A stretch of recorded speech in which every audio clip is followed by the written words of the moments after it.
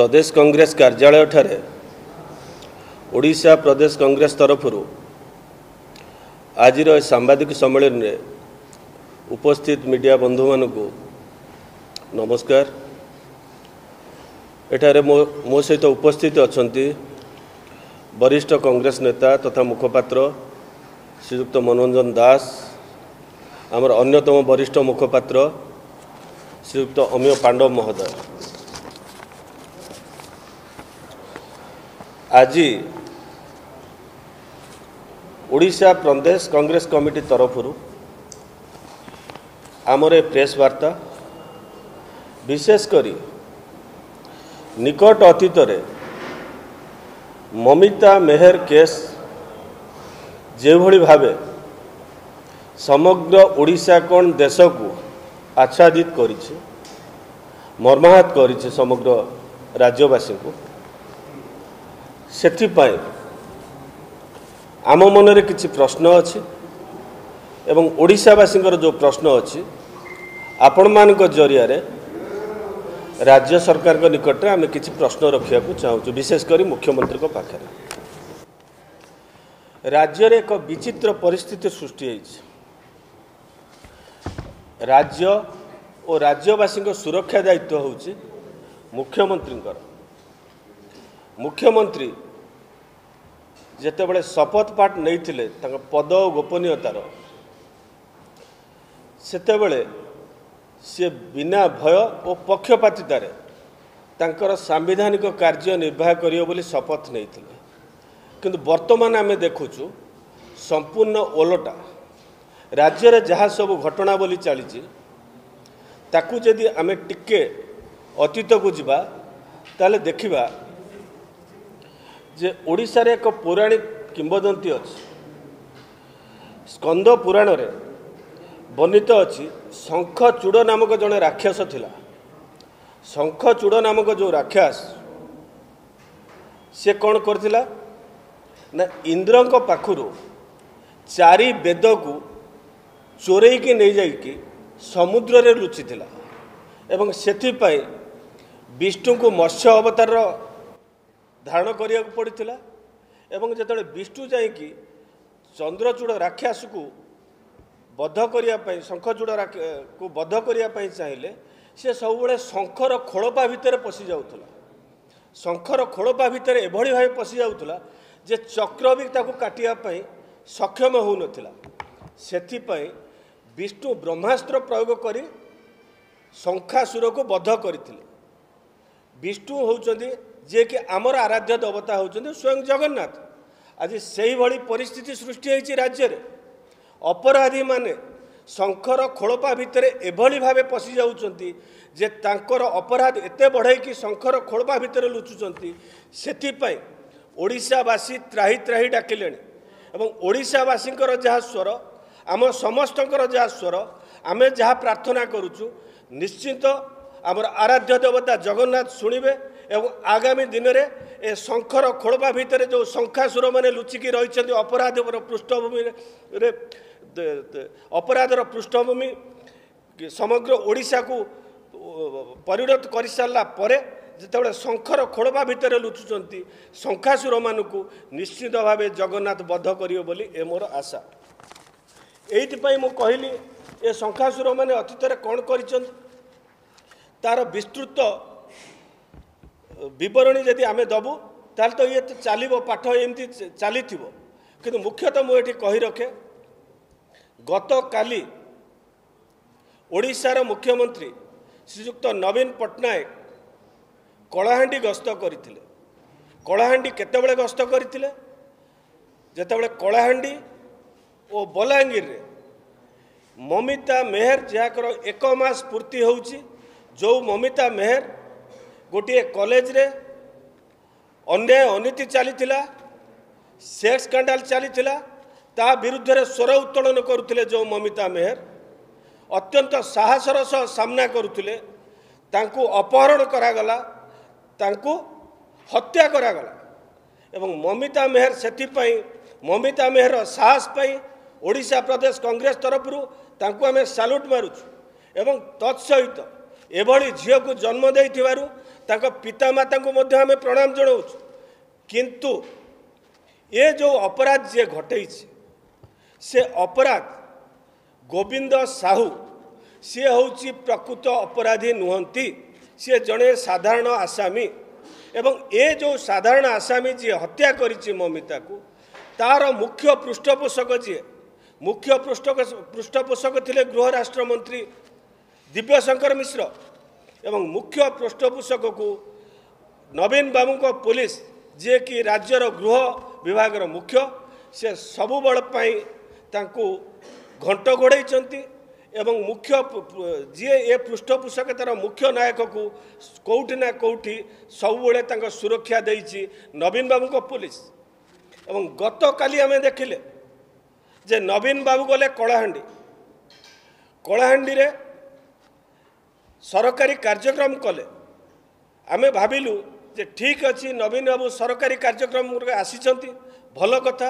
ଓଡ଼ିଶାବାସୀ ମଧ୍ୟ ଅପେକ୍ଷା କରିଥିଲେ ଯେ ନବୀନ ବାବୁ ଅନ୍ତତଃ ପକ୍ଷେ ଯେତେବେଳେ ଗୋଟେ ଝିଅକୁ ଅପହରଣ କରାଯାଇଛି ହତ୍ୟା କରାଯାଇଛି ମାନବିକତା ଦୃଷ୍ଟିକୋଣରୁ ନବୀନ ବାବୁ ସେ ପରିବାର ପାଖକୁ ଯିବେ ମମିତା ମେହରର ପରିବାର ପାଖକୁ ଯିବେ ତାକୁ ସାନ୍ତ୍ୱନା ଦେବେ ତାକୁ ଆଶ୍ୱାସନା ଦେବେ ଓ ବିଶେଷ କରି କଂଗ୍ରେସ ଦଳର ହାଇ ଲେବୁଲ୍ ଟିମ୍ ଯେତେବେଳେ ଯାଇଥିଲେ ସୂର୍ଯ୍ୟବାଲା ଆମର ଆସିଥିଲେ ଯେ ଅଲ୍ ଇଣ୍ଡିଆ କମିଟିର ଜେନେରାଲ ସେକ୍ରେଟାରୀ ସେ କଂଗ୍ରେସ ଦଳ ତରଫରୁ ଭାରତୀୟ ଜାତୀୟ କଂଗ୍ରେସ ତରଫରୁ ଗୋଟେ ଦାବି ରଖିଥିଲେ ଯେ ମମିତା ମେହରର ପରିବାରକୁ ଆର୍ଥିକ ସାହାଯ୍ୟ ଦିଆଯାଉ ତାର ଗୋଟେ ଭାଇକି ଚାକିରି ଦିଆଯାଉ ଏବଂ ଦୋଷୀକି ଦଣ୍ଡ ଦିଆଯାଉ ବିଶେଷ କରି ଦୋଷୀ କିଏ ନା ଯିଏ ମୁଖ୍ୟ ପୃଷ୍ଠପୋଷକତା ନେଇଛି ଗୃହ ରାଷ୍ଟ୍ରମନ୍ତ୍ରୀ ତାଙ୍କ ବିରୁଦ୍ଧରେ ହଣ୍ଡ୍ରେଡ଼ ଟ୍ୱେଣ୍ଟି ବିରେ ମକଦ୍ଦମା ରୁଜୁ କରି ତାଙ୍କୁ ମୁଖ୍ୟମନ୍ତ୍ରୀ ବରଖାସ୍ତ କରନ୍ତୁ ତାହା ତ ହେଲା ନାହିଁ କିନ୍ତୁ ଆମେ ଯେଉଁ ଆଶା କରିଥିଲୁ ମାନ୍ୟବର ମୁଖ୍ୟମନ୍ତ୍ରୀ ଯାଉଛନ୍ତି ସିଏ କହୁଛନ୍ତି ସାଢ଼େ ଚାରି କୋଟି ଲୋକ ହେଉଛନ୍ତି ମୋର ପରିବାର କିନ୍ତୁ ମମିତା ମେହର କ'ଣ ତାଙ୍କ ପରିବାରରେ ନଥିଲା? ଓଡ଼ିଶାର ବାସ୍ତବିକ ସ୍ଥିତି କ'ଣ ହେଇଛି?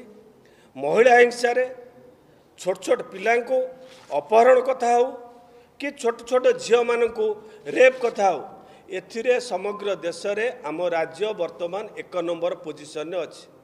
ଯଦିଓ ରାଜ୍ୟର ମୁଖ୍ୟମନ୍ତ୍ରୀ କହୁଛନ୍ତି ଯେ ଆମେ ଦୁଇ ନମ୍ବରରେ ଅଛୁ ଉତ୍ତରପ୍ରଦେଶ ଏକ ନମ୍ବରରେ ଅଛି କିନ୍ତୁ ସଂଖ୍ୟା ଦୃଷ୍ଟିରୁ ଦେଖିବାକୁ ଗଲେ ଓଡ଼ିଶା ହେଉଛି ନମ୍ବର ୱାନ୍ ପୋଜିସନ୍ ତେଣୁ ଏଭଳି ସ୍ଥିତିରେ ରାଜ୍ୟର ଝିଅମାନଙ୍କର ମାଆମାନଙ୍କର ଭଉଣୀମାନଙ୍କର ସୁରକ୍ଷା କଥାକୁ ନବୀନ ବାବୁ ଭୂକ୍ଷେପ କଲେ ନାହିଁ।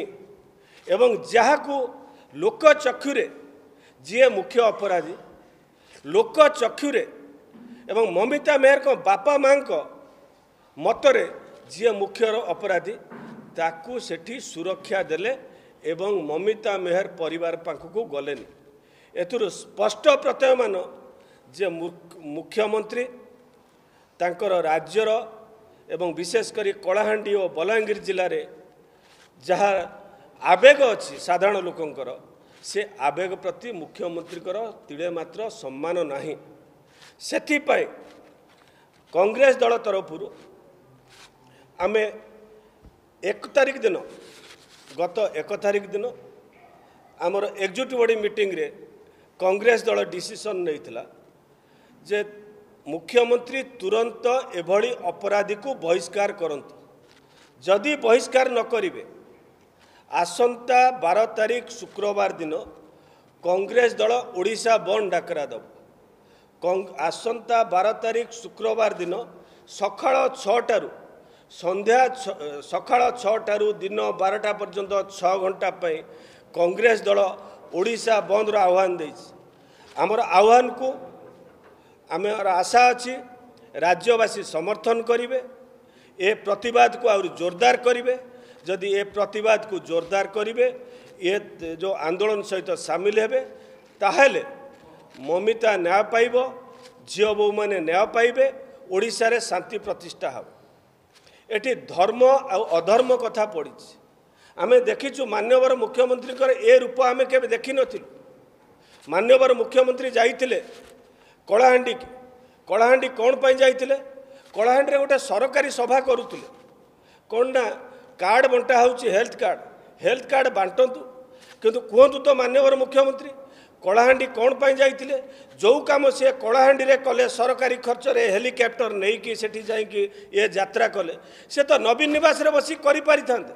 ଯଦି ସେଠି ସାଧାରଣ ସଭାରେ ଗୋଟିଏ ପଦ ସିଏ କହିନାହାନ୍ତି ସିଏ ସାଇଲେଣ୍ଟ ବସିଛନ୍ତି ଭିଡ଼ିଓରେ ଯଦି ସବୁ ତାଙ୍କର ଭିଡ଼ିଓକୁ ଚଲେଇ ଦିଆଗଲା ଏବଂ ସେତିକିରେ ସରିଗଲା ସଭା ତାହେଲେ ମୁଖ୍ୟମନ୍ତ୍ରୀଙ୍କର କିଛି ଆବଶ୍ୟକତା ନଥିଲା ସେଠିକି ଯିବା ପାଇଁ।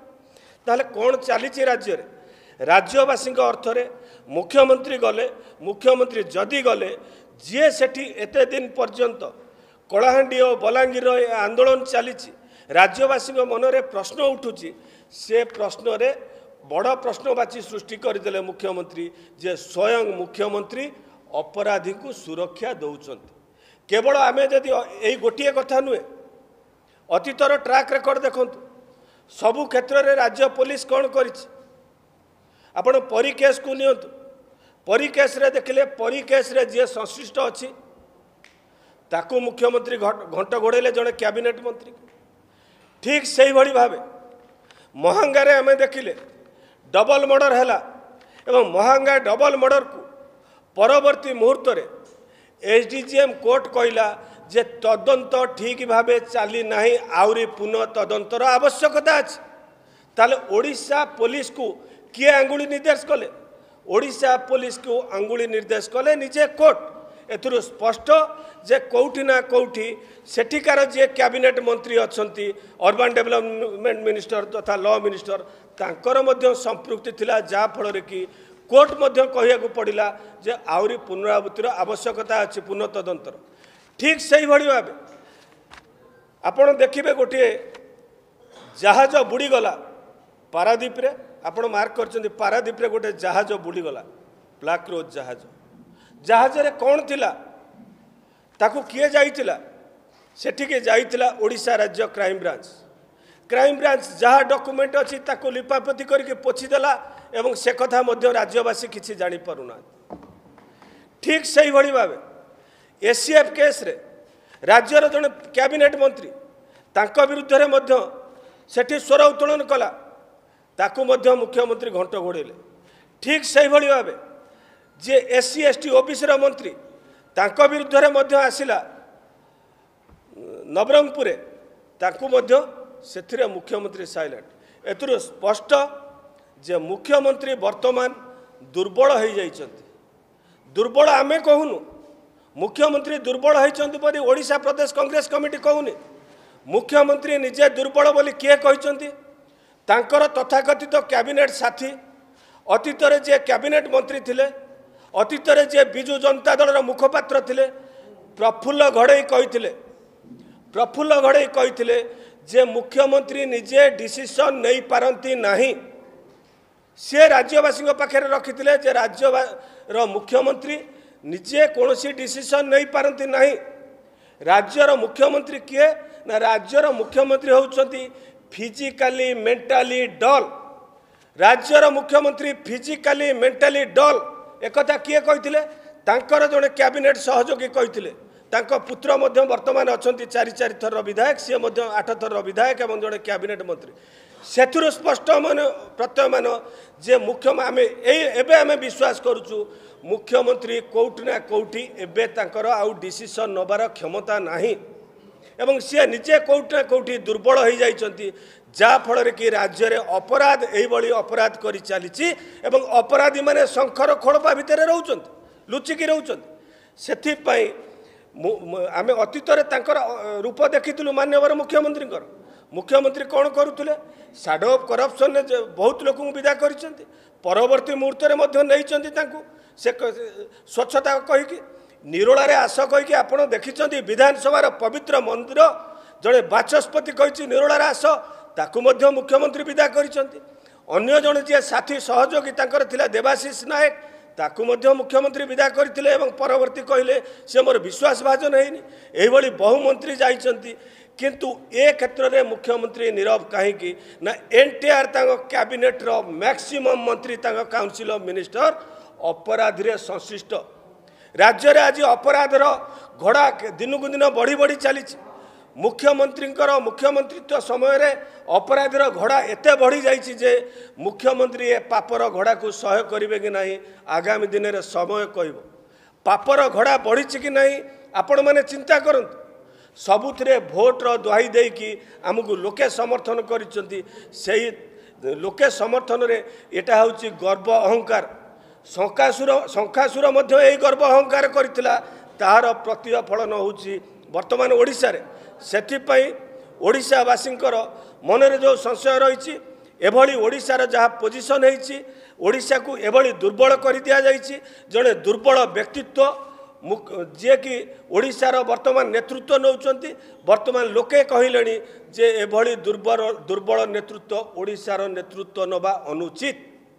କାହିଁକିନା ଯିଏ ଦୁର୍ବଳ ଯାହାକୁ ତାଙ୍କ ଦଳର ସାଥୀମାନେ କହିଛନ୍ତି ମେଣ୍ଟାଲି ଫିଜିକାଲି ସେ ଇଲ୍ ୱିକ୍ ତାହେଲେ ସେଭଳି ଲୋକ କ'ଣ ପାଇଁ ରାଜ୍ୟର ନେତୃତ୍ୱ ନେବ ତେଣୁକରି ଅବିଳମ୍ବେ ଯେହେତୁ ମ୍ୟାଣ୍ଡେଟ୍ ଅଛି ବିଜୁ ଜନତା ଦଳ ସପକ୍ଷରେ ବିଜୁ ଜନତା ଦଳ ସରକାର କରୁ ଆମର କିଛି ମନା ନାହିଁ କାରଣ ଲୋକେ ପାଞ୍ଚ ବର୍ଷ ପାଇଁ ତାଙ୍କୁ ମ୍ୟାଣ୍ଡେଟ୍ ଦେଇଛନ୍ତି।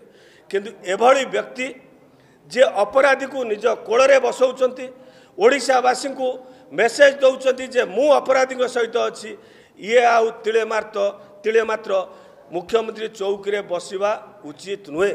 ସେଥିପାଇଁ ସିଏ ମୁଖ୍ୟମନ୍ତ୍ରୀ ପଦତ୍ୟାଗ କରନ୍ତୁ ଏବଂ ତାଙ୍କ ଦଳର ବହୁତ ସାଥୀ ସହଯୋଗୀ ଅଛନ୍ତି।